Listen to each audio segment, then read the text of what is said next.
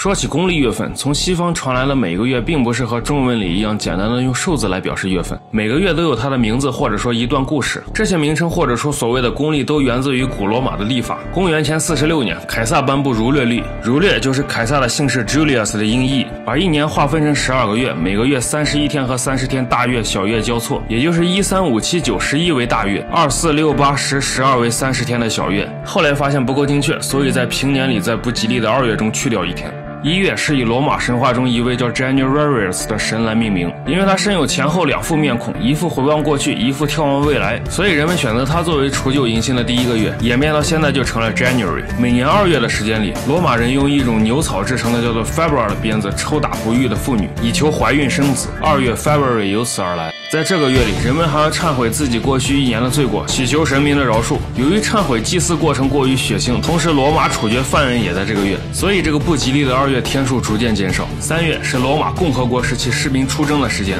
因为共和国初期罗马还没有职业化的军团，士兵本来都是农民，战争需要时会变成士兵。因为农业生产的限制，出征时间也就被确定，所以人们就将战神的名字 March 作为三月的名称。Aprilis 是拉丁文花开的日子之意，罗马的四月正是大地回春。鲜花出绽的美好季节，英文四月 April 由此而来。Maius 是罗马神话中女神玛雅的名字，掌管着春天和生命。五月 May 就是为了纪念她。Genius 是众神之王 Jupiter 的妻子，掌管生育、保护妇女。六月以她的名字命名，后来逐渐变成 June。那个家喻户晓的 Julius 凯撒大帝生在七月，他被政客乱刀刺死后，其势力很快复辟。他生前的下属亲信马克安东尼掌权后，用他的名字 Julius 来命名七月，然后变成了现在的 July。而同为凯撒亲信的盖乌斯乌大维本来是凯撒的外甥，经过一系列政治斗争和内战，清除了包括安东尼在内的所有政敌，实现了个人的独裁统治，成了公认的罗马帝国第一位皇帝。执政后，元老院在八月授予他奥古斯都的称号，意为神圣伟大，所以八月也就被乌大维命名为 August。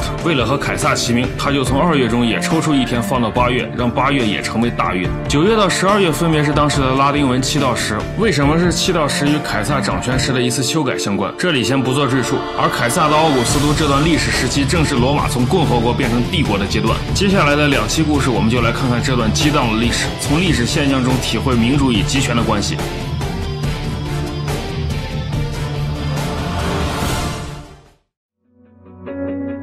兴起于亚平宁半岛的罗马，起初只是一个普通的王国，其控制的地区就是罗马古城的范围。公元前五零九年，统治失败被定义为暴君的塔克文被革命推翻，赶下王位。罗马共和国建立，摒弃古老僵化的国王制度，形成初步的共和体制。虽然最初的共和依然只是几个贵族家族掌权，但是在罗马平民积极的斗争之后，普通公民也逐渐获得了权利。他们可以设立平民议会，有机会担任高级官职。平民议会中选举产生的保民官，更是能够直接进入元老院，负责保护护平民权利不受贵族侵犯。除了国家危急时期临时设立的独裁官的决议外，保民官拥有对国家一切决议的一票否决权，这就促进了罗马共和政体的不断完善，国家活力因为政治体制的改变而凸显出来。到了罗马共和国时期的中后期，罗马的政治权力一分为三，分别是执政官、公民大会和元老院。执政官由公民大会中的军人团体选举产生，该职位设置两人，任期一年，最初多为贵族独占。公元前三六六年起，两个执政官中的一人必须从平民中选举产生，任期满后可以进入元老院。第二个公民大会，其职权是选举产生高级官吏，决定是否对外宣战，表决执政官提交的一切议案。但大会通过的所有议案需经元老院的最后批准才能生效。第三个最大的权力机构就是元老院，大约由三百多人组成，其成员主要是贵族，但后来卸任的执政官以及上层平民亦可加入。元老院是最高权力和决策机构，总揽行政、立法、外交、军事、财政、司法等大权，与执政官和公民大会重叠的职权均以元老院为准。元老院也是罗马共和政体的代表者和。维护者，元老院的成员中也有保民官、财政官、监察官、司法官等。当然，共和国政治体制并不是一成不变的，但大体可以总结为以上三个机构对国家权力的分摊。这时我们就可以看到，这竟然是一个三权分立的政体，可以实现国家各个阶层之间的相互制衡。虽然权力向贵族有很大倾斜，但在很大程度上避免了同时代其他国家一个阶层掌握绝对权力之后的壮大和腐化，最终导致国家快速衰弱的情况。同时，罗马的权力中心也很重视宗教的作用，运用宗教的力量团结民众，让全国得以产生凝聚力。这一切都使得罗马能。够拥有非常强大的军队去征服和掠夺。毕竟在生产力不足的时代，经济资源如土地、劳动力都很有限，要获得更好的生活，只能靠战争掠夺别人的资源。强大的军事保证能力同样促进了罗马共和国的强大。但还是要说明一点，与当今世界的共和国不同的是，这个国家的共和主要是贵族间的共和，普通民众权力有限。还有最重要的一点，这个共和国的经济基石是奴隶。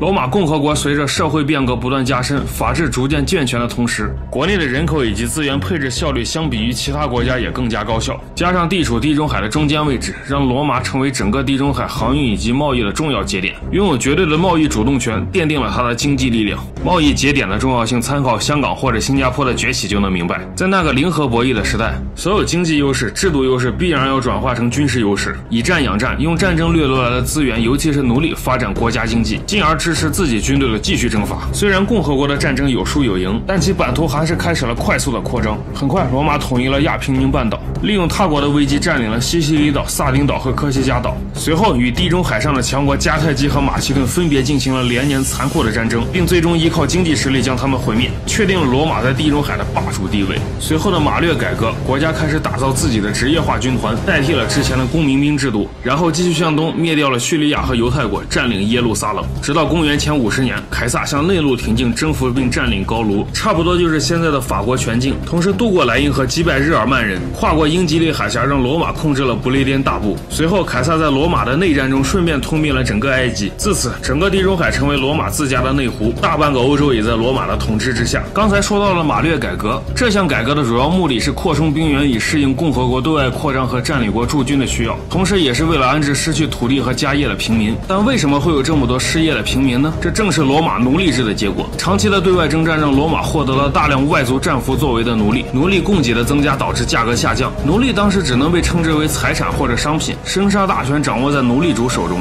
即使某个罗马公民杀了别人的奴隶，罗马的法律只会要求杀人者按照奴隶价格赔偿奴隶主。随着对外战争获得的奴隶增加，整个罗马共和国大半的经济活动，包括手工业、农业、矿业等生产工作，均是奴隶完成的。如此一来，平民的劳动力市场彻底被不用支付报酬。的奴隶市场击垮，使得国内贫富差距增大，土地兼并，无业失业的人数增加，保民官也无法阻止奴隶生意。在马略改革之前，为了保证军队的素质，一定阶层且拥有相当的财产的公民才能从军，且战争中武器自备，他们只在战争需要时才会成为军人。战争结束后，立即成为普通公民，自己谋生。贫富分化让能达到从军资格并能自行购买武器的公民人数越来越少。几次针对公民资格政策的改革失败以后，新的执政官盖乌斯·马略将征兵制改为募兵制。吸收失去土地的无业游民进入军队，服役时间至少为十六年。训练新兵以及补充武器给养均由国家完成。国家承诺服役结束之后给予占领国的土地，让退役的老兵衣食无忧。在那种时代，也只有罗马这样的经济实力能负担职业化军队的开销。这一改革同时解决了国内失业和军队不足的问题，同时也没有损害贵族和奴隶主的利益。但是，所有的政策不可能没有弊端。这个政策损害的就是共和体制。职业化军团长期跟随将军在远离国家中心的地方征战，士兵们很快就会出现为之其将之恩威而不知有共和国的现象。这个在我讲到唐朝安史之乱中的节度使时也说过同样的话。虽然罗马军团不能在自己的边疆屯田耕作，军队将领也不能指挥生产，可是通过战争掠夺来的奴隶却不可避免地成为军队将领以及每个士兵发家致富的方法。这就让军团的财力实力增大，同时战争的胜利也让在外征战的将领获得人们的崇敬与爱戴，军人的势力也逐渐。盖过罗马权力的中心元老院，国内的平衡被打破，所以国家的内战也就不远了。只是与安史之乱不同的是，罗马的叛乱最终也没能被平定，叛乱的首领成了千古英雄，被世人传颂至今。公元前五十八年，在军人势力不断壮大的情况下，凯撒拉拢军事将领庞培与另一位将军赢得国内政治斗争之后，被公民大会以及元老院授予总督职位，让他管理从现在的希腊到法国，除了意大利以外的地中海沿岸。在任总督期间，凯撒继续率领着他的职业化军团向欧。洲内陆进发，而此时庞培作为罗马的最高执政官，治理并控制着罗马的权力中心。凯撒的职业化军团拥有着统一制式的武器，能够排成整齐方阵，交替攻击敌人的罗马重步兵军团是专业化的杀人机器，让那些内陆高楼部落的武士无法招架。九年时间拿下了整个高卢地区，大致就是现在的法国全境。高卢战争中，他还获取了不列颠和日耳曼的大部分土地与人口。这一系列的战争让凯撒在罗马获得了巨大的声望，同时获得的战俘作为奴隶，也让他和他的军队变得异常富裕。我们现在肯定也无法知道凯撒当时有没有攫取罗马最高权力的动机，但是元老院和昔日的政治同盟庞培将军已经感到了不安。很快，元老院拉拢庞培于公元前四九年向凯撒发出召还命令，命令凯撒放弃军团指挥权，回到罗马。凯撒没有服从，回信表示希望延长高卢总督任期。元老院断然拒绝，还发出元老院最终劝告，表示凯撒如果不立刻返回罗马，将宣布凯撒为国家敌人。此时，对于凯撒来说，他面临的是人生中最艰难的抉择：是违抗元老院的意志，用他的财力与军队在管辖区自立政权，还是返回罗马，听从元老院的发落，以体现自己的绝对忠诚？最终，凯撒还是选择返回罗马。但让元老们没有想到的是，他是带着军队回去的。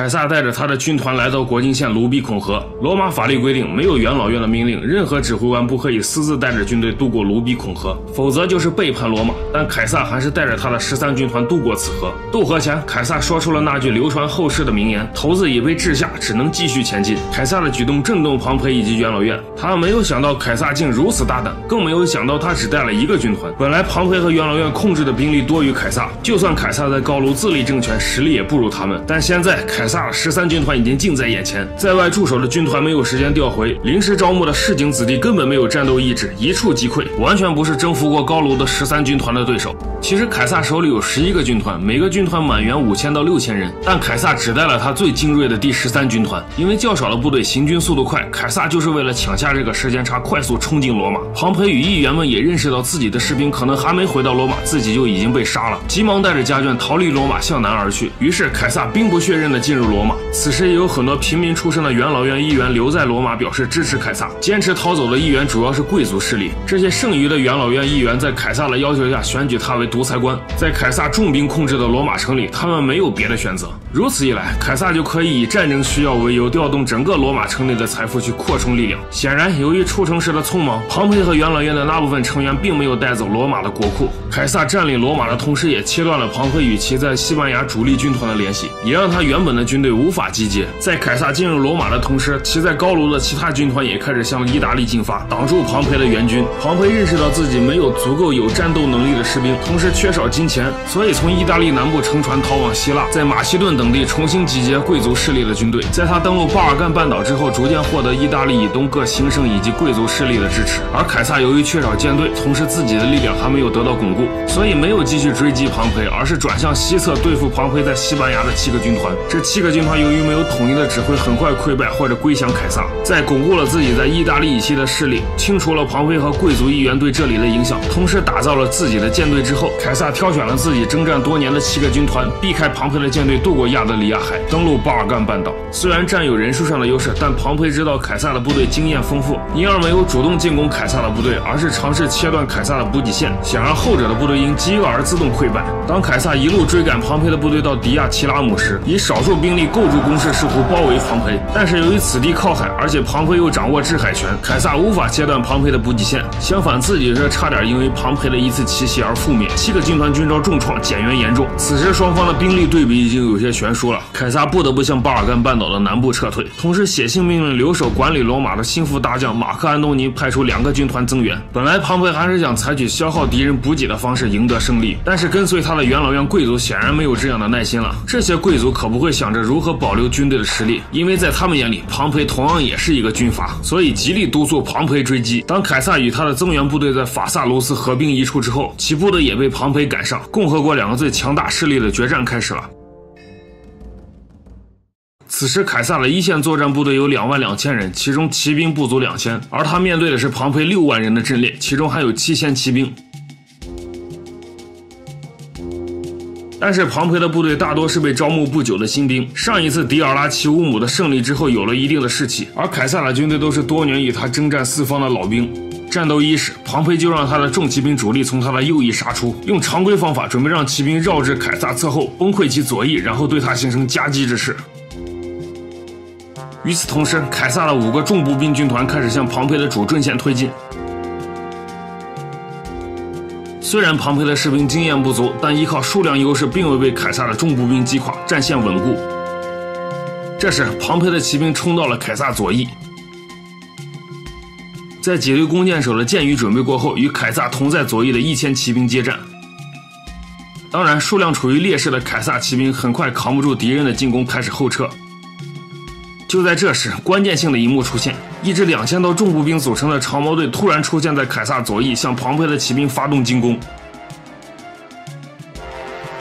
这是凯撒在战前从各个军团里挑选的精锐，因为他早就料到庞培的骑兵会来绕他左翼，于是让这两千多重步兵埋伏在恰当的地点。在与凯撒的一千多轻骑兵接触之后，庞培的骑兵刚好丧失冲击力，被这两千长矛重步兵杀了个措手不及，很快折损上千。与此同时，方才后撤的凯撒骑兵再次向这支骑兵发动反击。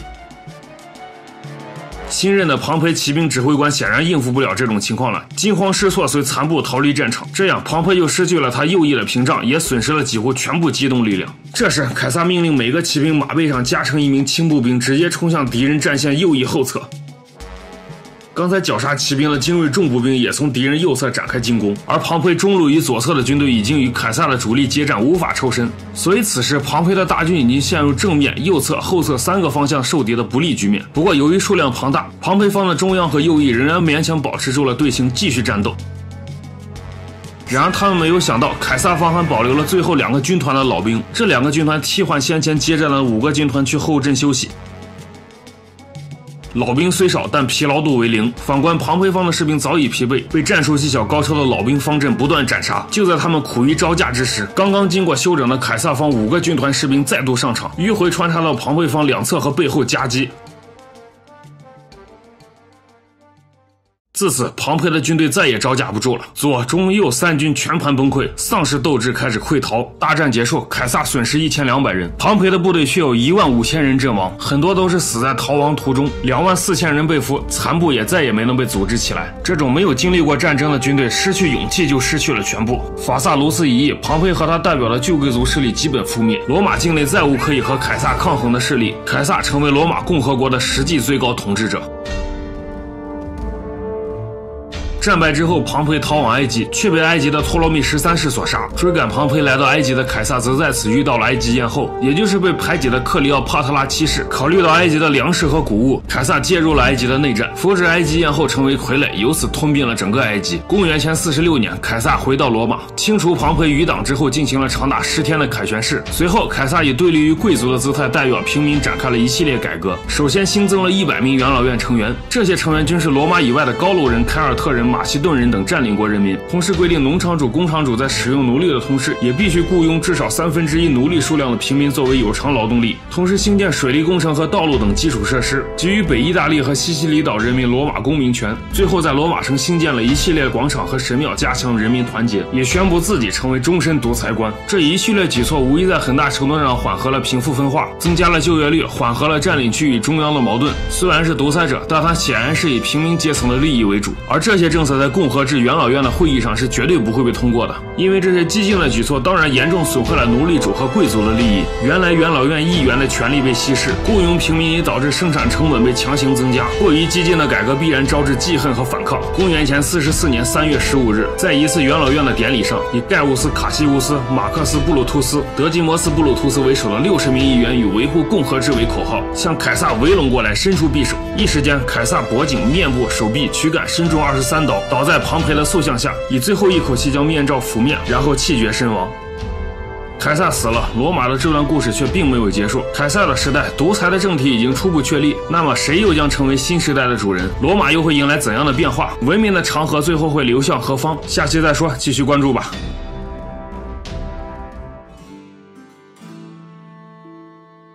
盖乌斯·乌大维·图里努斯，父亲是马其顿总督，母亲是凯撒的外甥女，父母应该属于政治联姻。乌大维也算是身世显赫，不过在他四岁的时候，父亲就去世了。后来凯撒领养了屋大维。根据苏埃托尼乌斯撰写的《罗马十二皇帝传》中的描述，屋大维的长相异常英俊，身材匀称优美，性情温和，几乎没有情绪。所以后来作为政敌的安东尼就宣称屋大维是因为其长相诱人，首先成为了凯撒的娈童，相当于是性奴，讨得凯撒欢心之后，才成为凯撒的养子和指定的财产继承人。当然，两千年前的事情现在也无法考证了。不过屋大维同样从小酷爱阅读，了解历史，认真勤勉地学习了演说术、人文科学，积累了丰富的学识，但是性格略显孤僻。也许从小的骨骼惊奇就被凯撒发现，于是凯撒在遗嘱中指明屋大维将是自己的继承人。凯撒也让他在与庞培的内战期间担任过一年的骑兵队长，然后被送到马其顿的阿波罗尼亚去接受教育和军事训练。总之，这也就是精英阶层的教育模式：从小看书，少年留学，看多了罗马统治层的内幕，心里也变得老成内敛。不过，孤僻的性格可能也让少年的他免于人际烦扰，可以以一个观察者的身份去思考权力之间的问题。当然，一个人的思考多了，就会不由得想把自己思考的结果用于实践，心中也就燃起了对权力的欲望。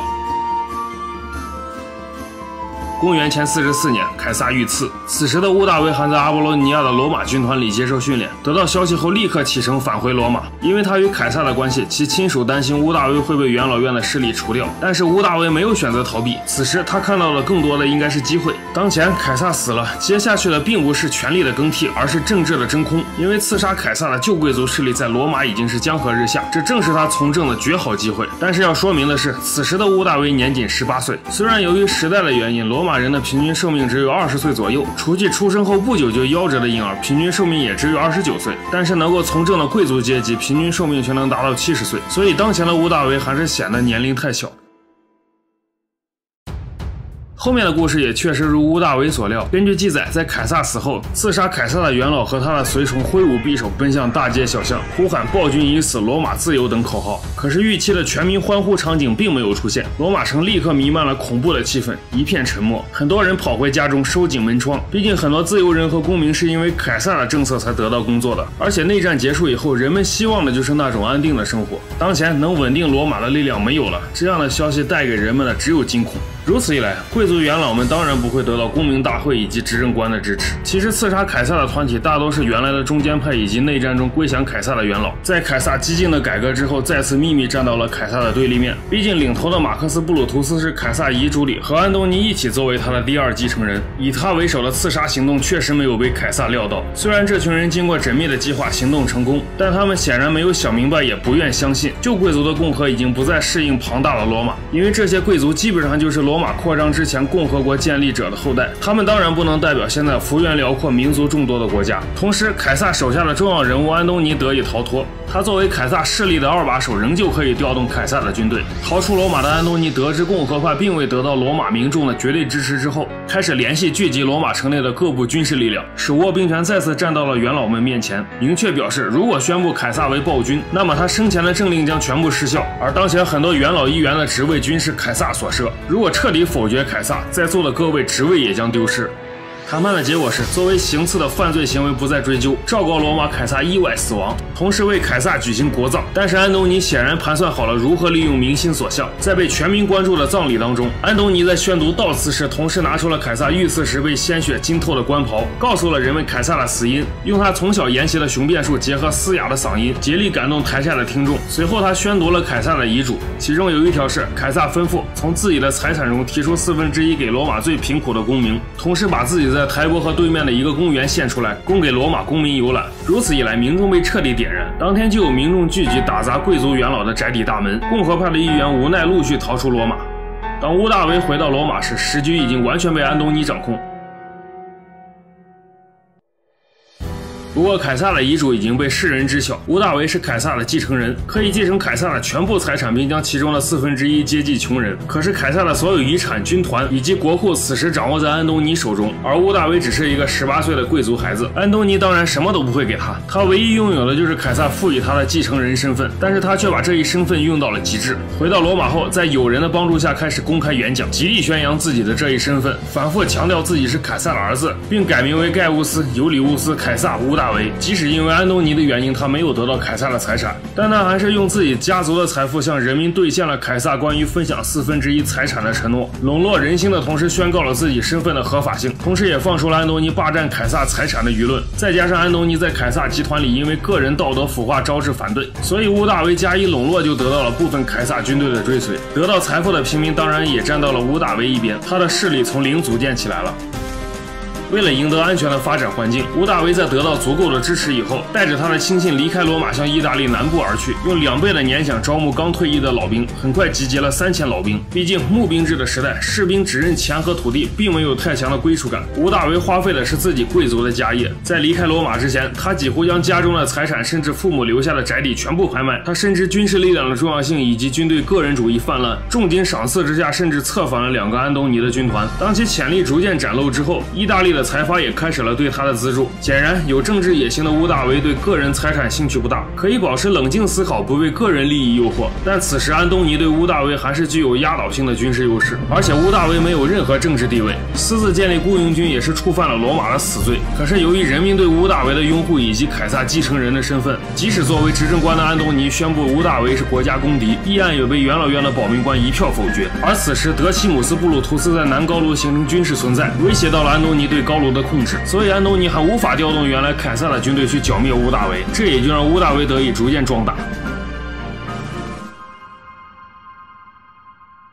与此同时，罗马的元老院里，以西塞罗为首的共和派势力依旧强大。安东尼作为执政官且掌握兵权，在多数贵族元老眼里，安东尼仍旧是共和国最大的敌人。而乌大维看到这一形势之后，作为凯撒后裔，竟然率部加入西塞罗的共和派，同时还被元老院授予议员职位。即使乌大维此时离担任元老院议员的法定年龄还差十年，他本来不合法的军队也得到了承认。毕竟元老院也会做权衡，两害相权取其轻。通过支持乌大维，可以得到凯撒老兵的支持，瓦解。安东尼的力量，同时可以达到分化凯撒势力的目的。很快，元老院宣布安东尼为国家公敌，任命希尔提·潘萨为新的执政官。此时，安东尼还在与德西姆斯·布鲁图斯在南高卢争夺控制权。乌大维与两位执政官组成联军，驰援布鲁图斯，在穆提纳夹击安东尼。安东尼腹背受敌，寡不敌众，被击败后逃往阿尔卑斯山区。逃亡过程中，他的部队经历了各种不幸和困难。不过，他带头喝脏水、吃野果，凝聚了士气，稳定了军心，力量仍然存在。不过，战争中指挥元老院军。军队的两名执政官战死，身为元老院议员的乌大维迅速掌握了元老院的军队，并再次向士兵许诺了十倍年饷的奖金。因为元老院的军队同样是之前凯撒的旧部，对于这些士兵来说，战斗结束，原来指挥自己的执政官身亡，接受乌大维的指挥就没有什么障碍。同时，共和派领导在战役之初向士兵许诺的款项也没有发到手。所以，对于乌大维来说，穆提纳战役不仅实现了防止安东尼一家独大的目的，这两位执政官的身亡，机缘巧合也促成了乌大维对军队的绝对控制。所以后世就相当怀疑两位共和国执政官在战场上的死是否就和看上去一样简单。随后，他和凯撒一样，率领他的军队渡过卢比孔河，回到罗马。而这次，他带着八个军团，五万余人，防卫共和国的三个军团没有选择抵抗。由于两位执政官的战死需要新的执政官，当乌大维的士兵进入元老院的会议室之后，十九岁的乌大维就成了罗马历史上最年轻的执政官，通过暴力手段震慑元老院的权威。当他当上执政官的第一件事就是打开国库，实现他对军人的许诺，然后派出他的部分军团北上与安东尼继续对峙。紧接着，立刻宣布刺杀凯撒的共和派成员犯谋杀罪，成为国家罪犯。此时，元老院才意识到这个孩子不是他们可以利用的傀儡，而是被乌大维利用，成就了其合法地位，并获得了力量。可以看到，乌大维没有什么政治倾向，也没有自己的派别，他并不代表凯撒余党，也不维护元老院，一切行为只为削弱其他所有势力，同时壮大自己。可是，贵族们认识到这一点时，乌大维已经掌握了罗马权力的中心。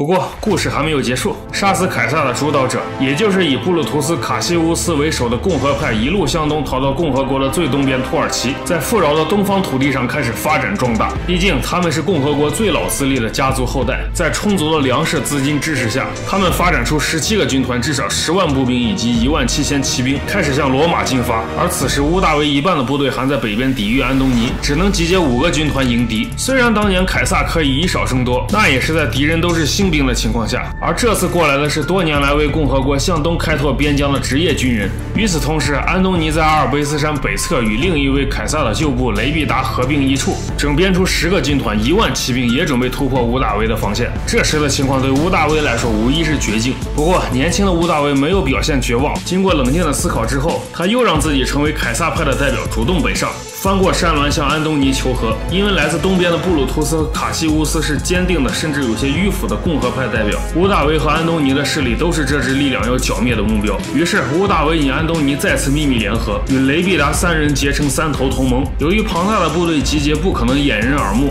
他们在合并一处之前，乌大维派秘密部队进入罗马，将包括西塞罗在内的共和派势力全部杀掉，确保罗马城内不会有布鲁图斯的内应。亲共和派的元老、议员、地方官员以及贵族。财阀被屠杀两千多人，这些巨富死后，财产全部被吴大维和安东尼夺走，作为庞大军队的开销。然后两军集结十九个军团和三万三千名骑兵，开始向东进发。由于前期残忍的保密工作，共和派直到两军接触才看清了双方的兵力对比，此时已经无法避战。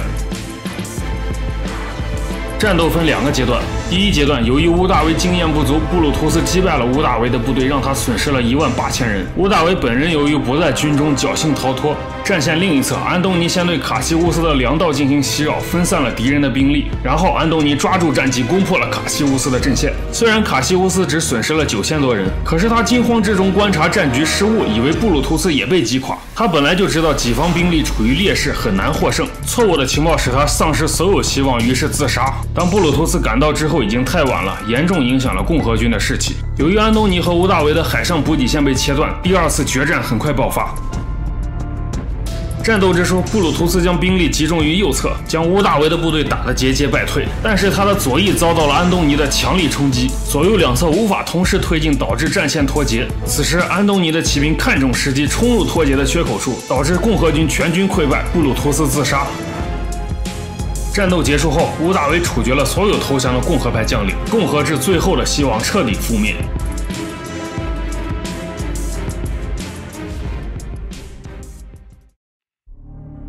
大战胜利之后，三头同盟瓜分了罗马。意大利以西，包括罗马城，在乌大维手中；富饶的东方，包括埃及，属于安东尼。雷必达获得北非。随后，安东尼将安置军队的麻烦丢给了乌大维。毕竟，上次的决战，战功、荣誉和归降的士兵都是安东尼的，其话语权更大。安置士兵需要征用土地，而这些土地需要从罗马公民手中强征。面对矛盾，乌大维坚决地站在军人这边，强行推行安置政策，不惜武力镇压平民的反抗，甚至与当时的执政官发生军事冲突。不过，乌大维最终获胜。他明白，维护军人的利益，争取军人的支持，在战乱年代绝对是正确的选择。政策推行后，乌大维同样铲除了。所有异己官员，在之后的三头同盟统治时期，国内还爆发过各种叛乱和旧势力复辟。最严重的一次是庞培旧部海军攻击商业航道，造成罗马的饥荒。虽然三头同盟之间矛盾不小，不过他们还是因为共同的利益联合起来抗击敌人。当同盟之外的敌人被肃清之后，吴大维开始转换执政理念，不再武力治国，而是维护平民的利益，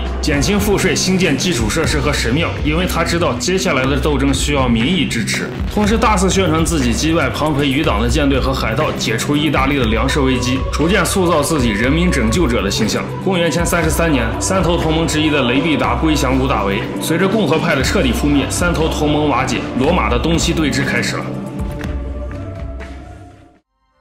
史料记载中的安东尼是一个很感性的人，在危急的战争中，他总是能坚毅果决地判断战机，越是形势险恶，愈能克敌制胜，所以他能赢得一场又一场战斗的胜利，也能和士兵同甘共苦，深受爱戴。可是，在安逸的环境中便无法自持，沉迷享乐，哪有建树？大权在握时，对国家的治理以及个人形象的建设非常差。在与布鲁图斯的决战之后，安东尼到东方筹集钱财，并出征帕提亚，但战争期间他却迷恋上了埃及女王，严重败坏了其政治影响。在拥有绝对军事优势的情况下，几次丧失战机，造成部队折损。同时，在发行的罗马货币上印上了埃及艳后，并注明他是众神之王，严重挑战了罗马的宗教权威。同时，他还对希腊等国下放了很多自治权。其实，也有说法是安东尼的这些行为是为了缓和民族矛盾和治理成本。但这些行为经过多次加工宣传，就成了叛国行为，也成为乌大维向其发动战争的借口。毕竟，对东方附属国的放权，让意大利对东方希腊以及埃及等地的征税能力下降。意大利公民的富裕最主要靠的就是东方的税收，所以罗马的贵开始倒向吴大维，东方的很多财阀也开始向吴大维叛逃。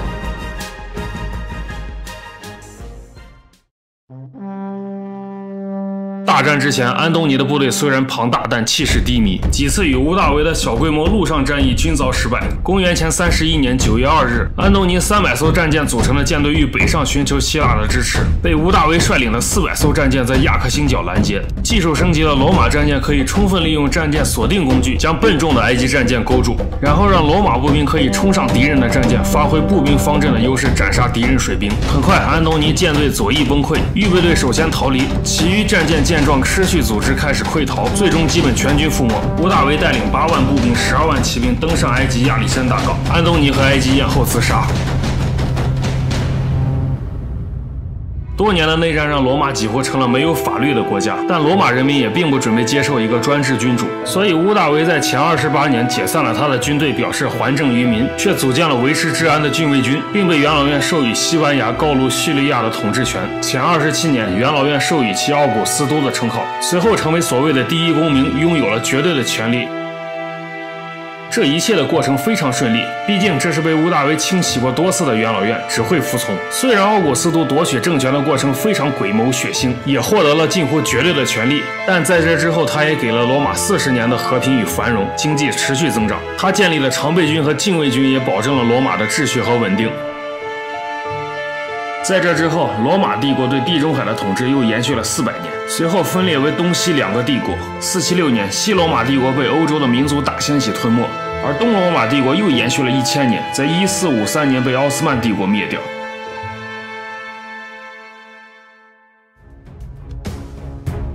公平和效率是统治的主题，但这二者本身却总是对立的。罗马还是一个小国时，公民的意见通过共和制度可以很快的收集起来，让大家表决。所以从王政时代牺牲一定的行政效率过渡到有限的共和还算容易。但是当共和国日益庞大之后，要协调的地区以及人口成倍扩大，让所有人为自己发声，在技术上成为了一件不可能的事情。也就是国家的信息通过共和制度已经不能汇总。共和国后期真正能够参加决议的，其实是罗马人口的极少数。即使是所谓的公民，也只占到罗马人口的百分之十。决策者的利益并不能代表国家的利益，国家的矛盾就此产生。罗马才陷入了血腥的内战。同时还有一个更重要的问题：如果所有决策都是全民完成的，全体人民的决策就是正确的吗？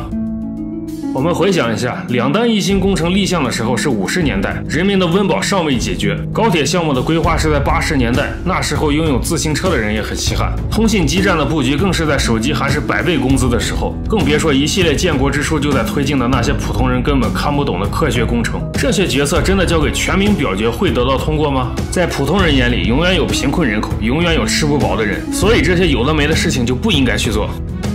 好了，虽然例子极端，但我们也要明白，群众当中有智慧，但不是所有群众都有智慧。毕竟普通个体的知识以及获取信息的能力有限，而决策需要的就是信息的支持。将信息充分整合之后，就能获得相对正确的结论。所以，集权就是统治者将自己变成一个信息的最终节点，用充足的信息与知识去支持自己的决策，同时也能加快决策速度。当然，集权也有弊端，决策者个人的不稳定会造成国家的不稳定。所以，权力集中的同时，保证社会每个阶层都能向决策者发出心声，社会的意见和建议能够汇总，让有价值的信息更高效的流动，同时保证决策机构的稳定高效运行，社会就能获得健康的发展吧。